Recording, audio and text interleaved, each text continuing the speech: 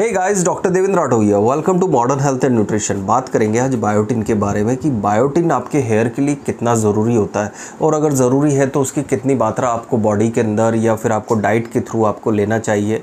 क्या आपको बायोटिन के सप्लीमेंट्स की ज़रूरत पड़ती है? अगर आपको हेयर लॉस है या फिर अगर आपको गंजापन स्टार्ट हो चुका है तो क्या सिर्फ़ और सिर्फ़ बायोटिन आपकी हेल्प कर सकता है? आज उसी विषय पर चर्चा करेंगे।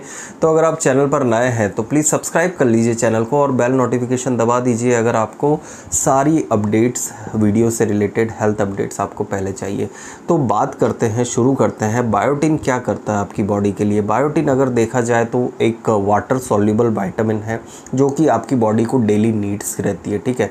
डेली नीड्स मतलब आज आपने लिया, आपको डेली नीड रहता है बॉडी के साथ मतलब जैसे आप पानी पीते जाते हो बॉडी के साथ एक्सक्रीट होता जाता है बॉडी को जितना एब्जॉर्ब करना होता है, वो एब्जॉर्ब कर लेती है, और बाकी वो एक्सक्रीट हो जाता है। वाइटामिन बी का एक आ, मतलब वाइटामिन बी कैटेगरी में आता है। वाइटामिन एच बी कहते हैं। ये चीज़ आपको पता नहीं होगी प्लीज़ नोट डाउन ठीक है वाइटामिन एच बी बायोटिन को कहा जाता है। अब बायोटिन क्या करता है बालों के लिए? बायोटिन क्या है कि एक जो हम बात करें हेयर हो गया, इस नेल्स हो गया ठीक है, ये क्या होता है?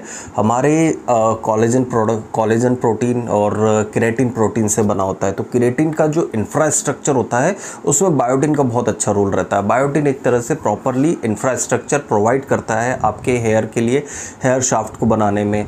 और बात करें अगर हम हेयर की जो लेंथ होती है, उसको बनाए रखने में हेयर की थिकनेस को इम्पोर्ट इम्पोर्टेंस करने में तो किरेटिन का बहुत ज़्यादा रोल होता है। इसलिए आपने देखा होगा किरेटिन मास्क आता है किरेटिन ट्रीटमेंट होता है किरेटिन का शैम्पूज आते हैं, ठीक है? तो किरेटिन बहुत ज़्यादा ज़रूरी होता है, लेकिन क्या ये ज़रूरी होता है कि बायोटिन ही सबसे ज़्यादा किरेटिन प्रोडक्शन करता है? तो देखो क्या होता है कि जो भी हम प्रोटीन की डाइट लेते हैं, उसमें अलग अलग तरह के एमिनो एसिड्स होते हैं। अमाइनो एसिड्स जो भी रहते हैं, वो हेयर को और हमारी बॉडी के लिए, सबके लिए पर्टिकुलर एक न्यूट्रिएंट्स प्रोवाइड करते हैं। तो ऑब्वियसली बायोटिन भी उसमें से एक होता है। तो बायोटिन एक तरह से देखा जाए तो एक इंफ्रास्ट्रक्चर तैयार करता है। इंफ्रास्ट्रक्चर मतलब एक थोड़ा बहुत उसका एक रोल रहता है कि वो केरेटिन प्रोटीन का एक तरह से जो निर्माण होता है बनावट होती है उसमें बनाना जो होता है उसमें थोड़ी हेल्प रहती है। अब बात करते हैं स्टडीज़ क्या कहती हैं। स्टडीज़ अगर बात करें कि बायोटिन की पर्टिकुलर रिलेटेबल हेयर लॉस से रिलेटेड स्टडीज़ की क्या हुई है तो अभी तक सिर्फ़ दो स्टडीज़ हुई हैं ठीक है? उसमें से भी आ, बात करते हैं कि क्या रिज़ल्ट निकलने को, देखने को मिले हैं। तो बहुत कॉमन अगर बात करें तो इतने एविडेंट रिज़ल्ट नहीं देखने को मिले हैं कि सिर्फ़ और सिर्फ़ बायोटिन आपके लिए इतना हेल्पफुल रहेगा कि आपके पूरा हेयर लॉस को रोक दे या फिर हेयर ग्रोथ आपको पर्टिकुलर करना पड़े, ठीक है? मतलब मतलब हेयर ग्रोथ जो है उसे वो पूरी तरह से प्रमोट कर सके। ठीक है तो एक पर्टिकुलर जो भी स्टडीज़ थी उसमें ये चीज़ें देखने को मिली है। और नेक्स्ट थिंग क्या होती है कि लोग क्या करते हैं? एक्स्ट्रा बायोटिन लेते हैं, कोई ten thousand microgram of nutri biotin का कैप्सूल अमेज़न से मंगा लिया, कहीं से भी मंगा लिया स्टार्ट कर लेते हैं। लेकिन आप बिना डॉक्टर की सलाह के बायोटिन स्टार्ट ना करें। नॉर्मल आपकी डाइट में एनो बायोटिन होता है अनटिल अनलेस आपको कोई प्रॉब्लम नहीं है। तो नेक्स्ट थिंग अब बात करते हैं क्या फ़ूड रहते हैं जिसमें बायोटिन आपको अच्छी मात्रा में मिलता है। तो बायोटिन जितने भी एग होता है एग का योग में प्रेजेंट होता है बायोटिन ठीक है? एक चीज़ देखी होगी, एक और मैंने एक पॉइंट बताता हूँ कि एग का जो रहता है, आप अगर एग खाते हो तो कई लोग सिर्फ़ एग वाइट खाते हैं तो आपको बायोटिन नहीं मिल रहा है। आपको बायोटिन लेने के लिए आपको एग का योग भी खाना होगा, ठीक है? उसमें से अगर आप जैसे एक एक रेशो रखें आप थर्टी टू सेवेंटी का रेशो रखें, अगर आप मान के चलो पाँच एग खा रहे हैं तो दो का आप एटलीस्ट वन और टू का एक आप योग भी जो रहता है फुल एग आप खाएँ, ठीक है? कोलेस्ट्रॉल मेंटेन करके रखें अपना कोलेस्ट्रॉल चेकअप करवाते रहें।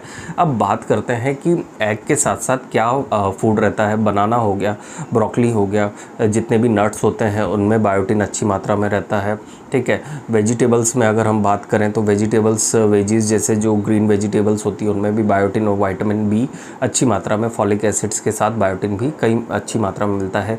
जितने भी फ्रूट्स रहते हैं maximum number of fruits contents of natural vitamin source ठीक है? पी हो गई मटर के दाने हो गए, जितने भी हम बीन्स के बारे में बात करते हैं, उसमें बायोटिन अच्छी मात्रा मिलता है। तो आप अपनी डाइट के थ्रू जो बायोटिन लेंगे, उसका एब्जॉर्प्शन प्रॉपर होगा और उसके साथ ही साथ हमें ये देखने को मिलेगा रिज़ल्ट हमें अच्छे देखने को मिलेंगे। तो हेयर शेडिंग जो रहती है, उसको प्रिवेंट करने में और नेचुरल हेयर ग्रोथ करने के लिए कितना रिस्पॉन्सिबल रहता है, ठीक है? तो ये था view review on biotin for hair hope so ज़रूर आपको पसंद आया होगा। तो ज़रूर इस वीडियो को लाइक करिए शेयर करिए सब्सक्राइब कर दीजिए चैनल को।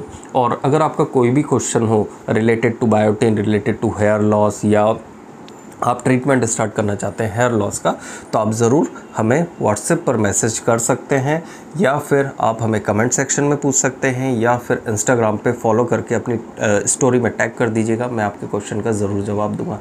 Thank you so much guys जय हिंद, जय भारत।